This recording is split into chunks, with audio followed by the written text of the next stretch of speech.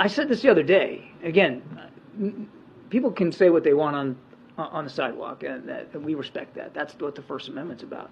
But this word genocide is getting thrown around in a pretty inappropriate way by lots of different folks. Uh, what Hamas wants, make no mistake about it, is genocide. They want to wipe Israel off the map. They've said so publicly, more than one occasion. In fact, just recently. And they've said that they're not going to stop. What happened on the 7th of October is going to happen again and again and again. And what happened on the 7th of October? Murder, slaughter of innocent people in their homes or at a music festival. That's genocidal intentions. Yes, there are too many civilian casualties in Gaza.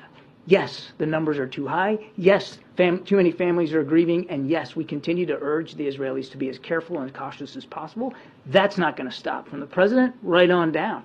But Israel is not trying to wipe the Palestinian people off the map. Israel's not trying to wipe Gaza off the map. Israel's trying to defend itself against a genocidal terrorist threat.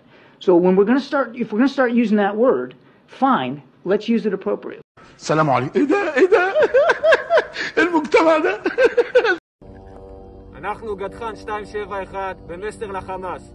למרות השביעי באוקטובר, למרות עשרות ימי לחימה ברצועה, אנחנו מוכנים לדבר על סולחה, על חשיבה מחדש, בנייה מחדש, שיקום הרצועה. אנ-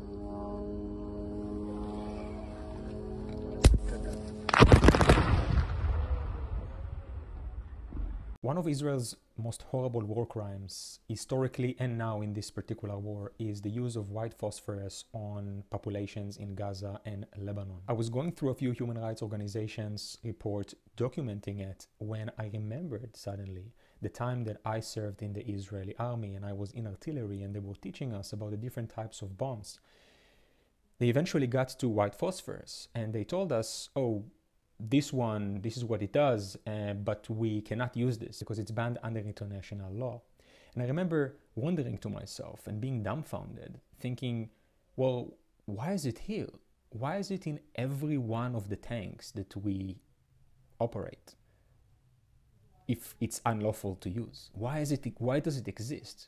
And I feel like this is such a typical dystopian Israeli paradox of how Israel loves portraying itself to the world as the only democracy in the Middle East and the most moral army in the world, when the reality on the ground of what we are actually witnessing happening in Gaza and other places, of the experiences that we hear from Palestinians, the daily experience that they are going through under the brutal, violent occupation of Israel, are telling us a completely different story.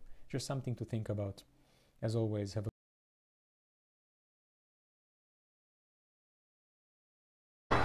ولقد جئت إليكم اليوم على قدمين ثابتتين أنني لم أجئ إليكم لكي أعقد اتفاقا منفردا بين مصر وإسرائيل ليس هذا واردا في سياسة مصر لقد كنا نصفكم بإسرائيل المزعومة. نعم. ولا نريد أن نحيطكم أو أن تحيطونا بالصواريخ المستعدة للتدمير أو بقذائف الأحقاد والكراهية. قد كان بيننا وبينكم جدار ضخم مرتفع. حاولتم أن تبنوه على مدى ربع قرن من الزمان. ولكنه تحطم في عام 73 كان هذا الجدار جدارا من التخويف بالقوة القادرة على اكتساح الأمة العربية. من أقصاها إلى أقصاها. هناك أرض عربية احتلتها ولا تزال تحتلها إسرائيل بالقوة المسلحة. ونحن نصر على تحقيق الانسحاب الكامل منها بما فيها القدس العربي.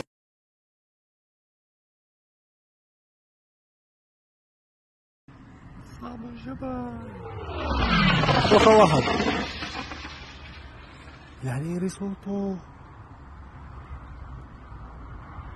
واحد بخيل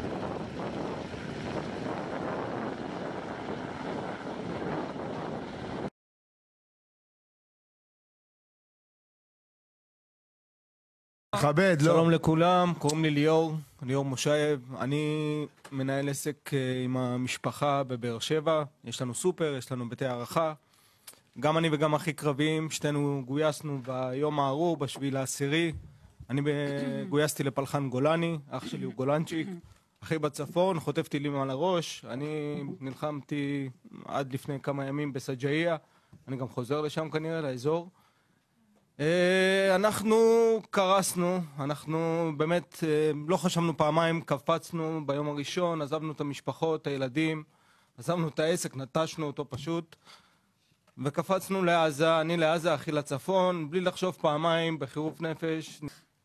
ועכשיו אני רואה שמתי שאני צריך, ואנחנו באמת בבעיה, העסק קרס, לא היה מי שינהל אותו, לקחנו עובדים זוטרים שפשוט ניסו איכשהו משהו, גנבו אותנו, שדדו אותנו, העסק פשוט קרס.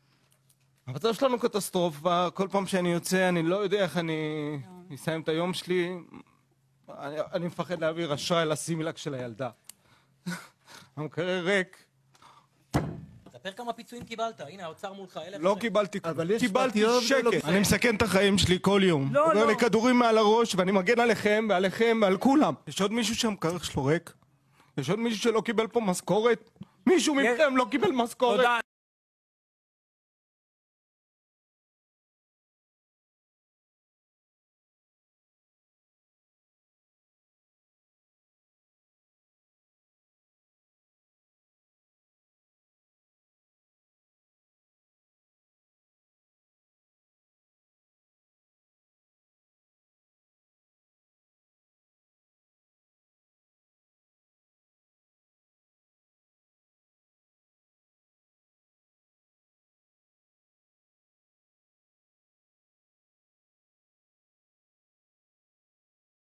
واحد يعرف مثلا اللي قاله بن جوريون ده دي مفروض في كل نشرة أخبار أجيب كده بن جوريون قال يا جماعة وهو أول رئيس وزراء لإسرائيل قال قوتنا ليست في سلاحنا النووي قوتنا في تفتيت ثلاث دول ثلاث دول كبيرة حوالين وبالترتيب العراق سوريا مصر إلى دويلات متناحرة على أسس دينية وطائفية ونجاحنا في هذا الأمر لا يعتمد على ذكائنا بقدر ما يعتمد على جهل وغباء الطرف الآخر لمح اكتبها.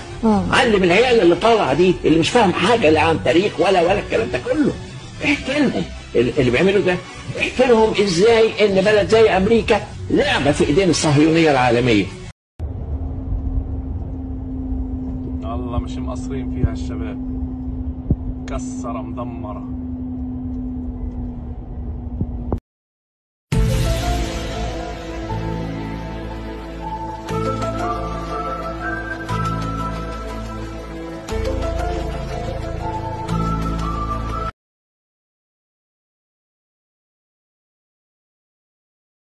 السلام عليكم. لا تنسوا الإعجاب بالفيديو والاشتراك في القناة. تشجيعا لنا لنستمر بنشر المزيد إن شاء الله.